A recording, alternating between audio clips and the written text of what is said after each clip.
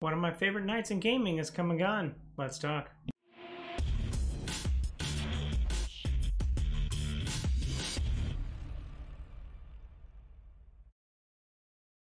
What up, viewers? What up, what up? Calc Supes here, and today is Friday, December 10th, and that means it's time for a quick recap of the week in video game news. Uh, the Game Awards, like I said, is one of my favorite times of the year and one of my favorite gaming events of the year. Um, it happened last night. It was um, it was quite quite a long um, quite a long event, as they typically are. Most Jeff Keighley events, I think, are a little bit long-winded, um, but I, overall, I think it was a great night. Um, first, let's talk about the awards, the actual awards. Um, it Takes Two got Game of the Year as uh, Best Family Game and Best Multiplayer Game. Uh, I'm wondering, uh, I see a little bit, you know, I want to cast a little bit of shade on Josef Fares being very close friends with Jeff Keighley, uh, whether or not that makes a little bit of sense. Um, I had Resident Evil Village down as my vote for Best Game, but um, I could definitely see It Takes Two. There was a lot of games on there that I thought were were really well done, so I'm kind of glad that uh, you know I'm I'm not too opposed to uh, It Takes Two taking the winner. It just means that I have to play it very soon, which is why I wore my Player One shirt because hopefully me and my wife play it sometime soon. Um, Deathloop also got recognized quite a few times. I think it had like five or six um, nominations, and it got Best Game Direction and Best Art Direction, which is great because the gameplay was very innovative and fun, um, and the art direction was very, very timely uh, while all very stylistic. Um, I really like the art, and I think everybody else would agree the art in Deathloop was great. Um, Kena Bridge of Spirits actually won two awards: best uh, best indie game and best debut game from an indie studio. Um, while they were published under while they were published under Sony, um, they're still an independent studio. So Ember Labs is still an independent studio. So it was cool to see uh, cool to see them get recognized. Uh, I just started playing it uh, just this week. So um, looking forward to getting to you know the good meaty parts that uh, that are Kena. Uh, the one award that I cannot argue with is, uh, and I want to say congratulations to Maggie Robertson for her win as best voice actor or actress in a video game uh, for playing Lady Dimitrescu. Um, she was obviously everywhere. Part of the they leaned in with her on the marketing material and I thought she was a great character, and I think most everybody else did.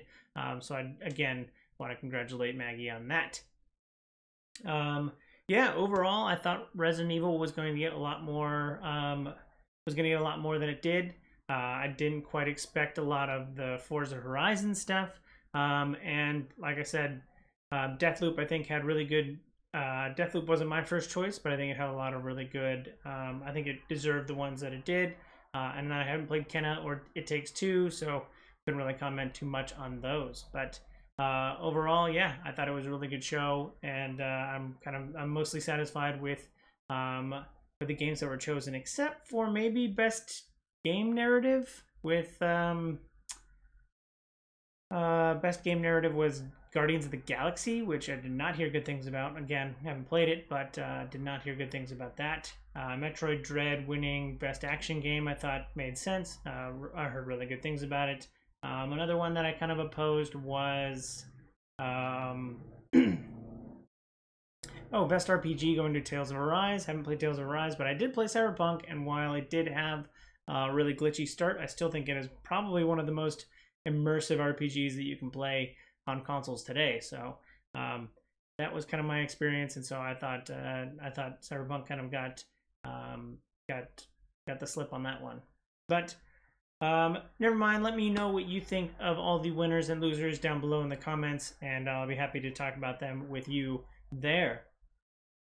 Besides being a night of uh, a night of awards and celebrating video games, they also it is also a marketing platform for a lot of big announcements. So uh, I'll run through the ones that caught my eye, the ones that I found very interesting. But uh, there was like 50 or so announcements, so I'm not going to talk about all of those because I don't have all night. Um, the first ones that uh, one of the first ones out of the gate, and one of the first ones that caught my eye was more Telltale games coming down the pipe. Um, I you know, with Telltale going under, I'm really, I was really curious about more Telltale games. I'm wondering if it's Telltale in name and not like the company Telltale, because um, again, I think they went under, or at least I remember them distinctly going under. Um, but there's going to be a Telltale game on the Expanse, which looks pretty cool. Might be a good way for me to interact with that world because I haven't gotten too much into the TV show. Um, there's also a Telltale Star Trek game coming out. So again, two Telltale games and uh, are coming down the pipe, and I love those kind of visual novel kind of choice, uh, your choices matter kind of games. So uh, really looking forward to seeing what comes from those Telltale games. Another big, awesome thing that's coming down the pipe. I think we've known a little bit about it for quite some time, but Alan Wake 2, uh, Remedy has been working to get the EIP back and, and be able to make a game for it. Um, so yeah, Remedy is making Alan Wake 2. Very, very cool. Uh, very exciting stuff. Also, it's going to be survivor horror and less actiony. Again, the first one I think uh, was a little bit more actiony, and even Sam Lake, uh, the creative director, uh, talked about it being a um, talked about it being too actiony, and so the fact that they're taking Alan Wake um, to a more survival horror will, I think, be very very cool in the kind of world in the the northwest, you know, dreary um, rain. I think would would definitely lend itself to a pretty cool survivor horror in a kind of city setting, which would be pretty fun. Um, the latest Star Wars game coming down the pipe, Star Wars Eclipse um, from Quantic Dream got a got a debut trailer, just like a CG trailer. Um, Quantic Dream is the company that made Detroit Become Human and Heavy Rain, so uh, very very well known uh, studio for uh, very good narrative games. Um, a lot of choice driven narrative games, so I think that's going to be really fun in a Star Wars um, a Star Wars setting. So uh, it's finally it's finally time that you know the fact that EA lost exclusive rights to Star Wars. We're starting to see the comeuppance of of what happens when a bunch of other studios have access to the Star Wars IP and what games they can create out of it. And uh, I think Star Wars narratives is kind of where it's at. I know a lot of people want to play um, as a Jedi or as a trooper and, and, shoot around, you know, and we've had Battlefront and Fallen Order for that. Um, but I really kind of want to see a Star Wars narrative. One of the best Star Wars games I can think of is Star Wars The Old Republic um, or Star Wars Knights of the Old Republic, which are really narrative focused games. Um, so something I'm very much looking forward to uh, with those. We also got to see an extended bit of gameplay for Hellblade 2, Senua's Sacrifice. Um, Senua, uh, Hellblade 1, Senua's, uh, oh god, what's the first one called? I think, is the first one's called Senua's Sacrifice? Oh yes, the first one's called Senua's Sacrifice. The second one is called Senua's Saga. Um, anyway, Hellblade 1 is one of my favorite games of all time. Um, and so I'm really excited for Hellblade 2. We still don't have a date for the game yet, um, but we have to see an extended bit of, of uh, gameplay. So I'm hoping in the next year. Um, but again, they haven't listed any date. Although the fact that they didn't say 2022 maybe means that it's not going to be, or they're just playing playing a little bit close to the chest. But uh, overall, Hellblade 2 looks great. Um, also, one of the most visually impressive uh, trailers that we saw there. I, it really looks uh, the fidelity on it looks really good.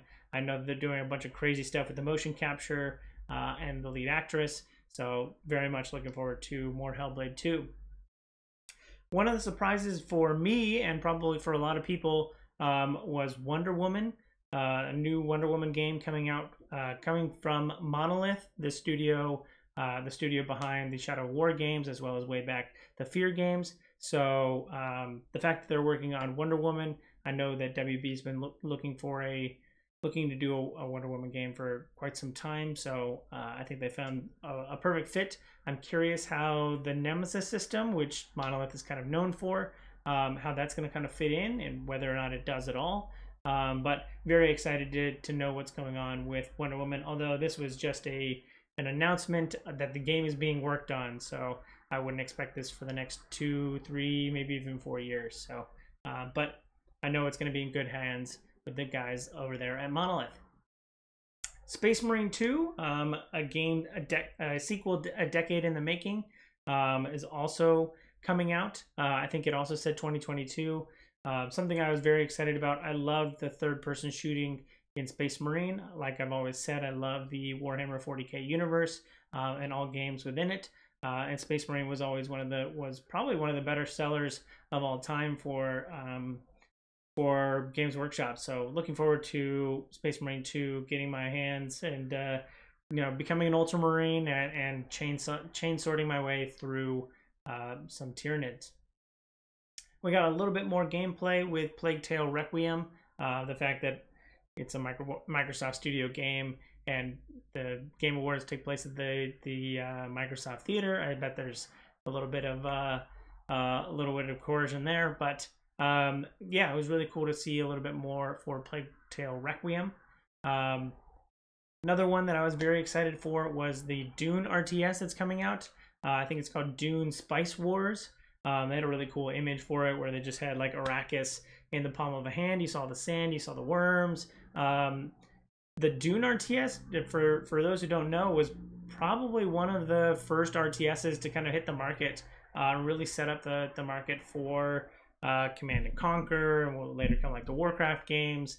Um, so yeah, Dune Dune being in this kind of like 4X RTS space, I think is going to be look work really well. Also, I'm a little bit biased because I'm a giant, massive Dune uh, Dune fan, so very much looking forward to all the Dune games that are being worked on now after the success of the the movie, which I thought was amazing. Last but not least, and not even a video game, but the Halo TV show. Um, we got like a 30 second trailer for that, uh, and it looks great. Makes me want to go back and watch uh, Forward Unto Dawn, which I think was another Halo universe TV series. So um, looks like they've got a lot of money behind it. Everything looks really good. A lot, some of it looks even practical, which uh, I think is going to look really good on TV. Uh, I'm looking forward to um, looking forward to seeing what happens with the Halo TV show. Um, so let me know what you think down below. So those that's everything that kind of happened at the Game Awards, or at least what caught my eye. If there's anything you think I forgot down below in the comments you want to talk about, feel free to uh, feel free to shout it out there. Uh, moving right along, do uh, Halo Infinite finally launched the campaign this week. I know we talked about it last week with the fact that we've had the multiplayer for quite some time and that the um, the campaign would be launching this week. Um, but the reviews are in. Um, Halo Infinite is currently sitting at an 86 Metacritic, which I think is uh, right around where uh, where I would have expected it. Uh, means it's pretty good, and, and for Halo fans and uh, potentially uh, generic uh, shooter fans, I think it's going to be a game that's going to be right up their alley. Um, I've already started reading a couple of the reviews. I've seen looked at like the how long to beat because I got a little bit of mixed signals between whether or not it would be an eight-hour campaign or a 30-hour campaign. It looks like on how long to beat it's about nine to 15. Um, so it seems like it's really uh, bite-sized. It's longer than your average Call of Duty campaign nowadays, but uh, you know not the not the robust 40, 50 hour uh, experience that you would kind of expect. I've heard really good things about the open world environment and that Halo really suits itself for that. Um, the fact that it doesn't really get too too repetitive at any at any times. Uh, you know, while there are missions that you uh, will do it over and over again, uh, apparently it's not too grindy. So I'm kind of looking forward to it. I bet I hear the boss fights are actually really good. So uh, I'm very much looking forward to hopping into Halo Infinite. Uh, I already tried to play it earlier this week. I actually tried to play it on launch yesterday, um, but uh, the or no on Wednesday was when it launched. I tried to play it on Wednesday, but I woke up too early for the West Coast uh, servers going online, so I had to play something else. But um, other than that, I don't think there's been any other hiccups, and I'm looking forward to playing Halo Infinite. Other than watch out for the there's a PSA that came out this week saying avoid the quick resume on Halo because it might corrupt your save file or something like that. So uh, just something to keep track of. But overall, I am looking forward to Halo Infinite. Talked a lot about Star Wars so far, and we're going to talk about a little bit more. Um, the new mobile Star Wars game, Star Wars Hunter, got a, got an extended gameplay trailer this week. Um, Star Wars Hunter's feature is like an arena shooter on mobile, so it looks really fun. Um, and it, they really showed off each of the individual characters, each of their special abilities, um, and, and it just overall looks like a pretty fun uh, mobile game with Star, you know, with Star Wars characters. Um, I'm the only thing I have to figure out is how to play it on controller. So hopefully I can get it to work with either my Stadia or Luna controller uh, with my with my phone. But otherwise, yeah, it looks like a pretty fun um, Star Wars game to play on your phone. So let me know what you think if you download it down below. Activision once again is in hot water with uh, almost everybody. This time, uh, with people starting to talk about gaming unions and a bunch of employees going on strike. Um, so earlier this week, Activision laid off a bunch of QA contractors at Raven Studios, one of their studios that works on one of the several Call of Duty titles. Um, the Ravens particularly has been working on Warzone, um, and they laid off a bunch of QA uh, contractors, which is typical for the industry. But um, the, the the QA people decided that they had enough, um, and they staged a walkout uh, in support of their uh, fellow employees who were getting laid off. Um, and all of this is coming on on the back of all of the sexual, the rampant sexual harassment allegations that have been going on at at uh, Activision. So um, even more studios got in on the walkout. So I think even for the past two days, uh, the walkout's been going on. Um, people have been striking, uh, and so there's a lot of conversation about unionizing. Especially, I would I would think if it was going to start anywhere in the games industry, it would definitely start at QA because a that is where most people start, or a lot of people start in the games industry, and b that's probably one of the places, the parts of the industry that has the most amount of turnover. Um, they definitely I think the industry definitely does exploit contractors from time to time, especially in the QA field. Um, so uh, it is interesting to see everybody kind of rally behind that uh, and try to unionize there. Um, there is a GoFundMe set up for ABK workers, um, Activision Blizzard King workers. Um, I'll have a link down below to where you can kind of go to support that GoFundMe um, because the because the workers are not already unionized uh, while they are striking um, it their jobs are not secured like it would be in a union in a union strike. So um, it is a scary time, but a lot of people are showing up in support for um, these uh, contractors and support for a union. So um, this could be the starts of, of what could you know eventually take over the entire industry. Is is just getting especially the QA field um, unionized could be very good for the industry. So um, yeah, like I said, all the links down below for where you can check out and potentially support uh, ABK workers. We got a little bit of information last week. Um, last week, I think when I talked about the PlayStation Game Pass, uh, the game, the game, the PlayStation's Game Pass. Um, the only thing that had kind of come out was just that they were working on it. Um, I got a little bit more information this week talking about how it's going to be called Spartacus. Um, it's going to have tiered, uh, it's going to have multiple tiers. One that's just going to be for PlayStation Live, uh, or yeah, PlayStation Plus. Uh, then there's going to be one that gets you the free games. There's going to be one that gives you extended demos. Um, so you'll just get more and more content, be able to stream more and more games, uh, depending on what your your tier level.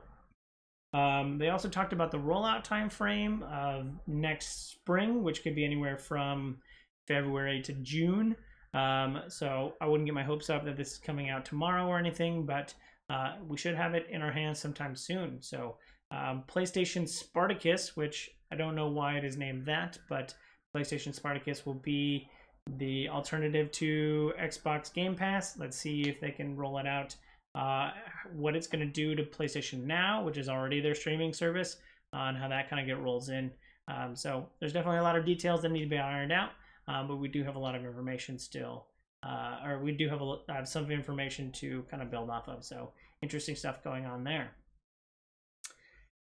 The crazy people at Bungie and Nerf have done something glorious. Uh, they have brought they have brought forth and brought into this world a Gjallarhorn. That's right, the infamous rocket launcher from Destiny. Uh, probably one of the most famous guns in all of Destiny. Uh, Gjallarhorn is a rocket launcher that has now been turned into a Nerf, a four foot long Nerf gun, which apparently will like shoot footballs at people. This is gonna be great. Um, so the pre-orders are already sold out. Unfortunately, I didn't catch I didn't catch on to this uh, until uh, until too late. The pre-orders were on Bungie.com. Um, Destiny players actually got early access to the pre-order. Um, I'm hoping that kind of helps combat bots. Um, but overall, I just think it's great, great that this is coming out. Hopefully they don't. Uh, hopefully this isn't like a timed exclusive or anything like that, and they'll just keep printing them because I mean, there's a lot of people who want to shoot rockets at their friend, Nerf rockets at their friends, uh, and I'm definitely one of those. Oh my God, you could put like one of those like whistle footballs in this four foot long tube and shoot it at people, uh, and I bet Nerf fi- has figured out how to do that. So um, it could be great. uh, I'm looking forward to seeing this in the hands of people uh, and potentially getting my hands on a four foot long orange tube of plastic that shoots foam rockets at my friends. So uh, awesome stuff that's going on here, and I'm very excited to see more. Scuf Gaming, the company behind a lot of your, a lot of really good alternatives for controllers. Um, they're really known for making video game accessories, specifically in the controller space. Um, they have come out to their version of the, they've come out with their version of the DualSense. Um, so it's got a lot of the extra buttons that you would expect from a kind of pro series. I think that's the article I read kind of talked a bit talked about it as if it was the DualSense Pro, uh, which which is very uh, interesting and very cool. I'm wondering if it's going to have the haptic feedback. Uh, I didn't read too much on the reviews yet, but um, but very cool to see kind of uh, third party, you know, third party accessory companies getting in on the DualSense um, and competing with it.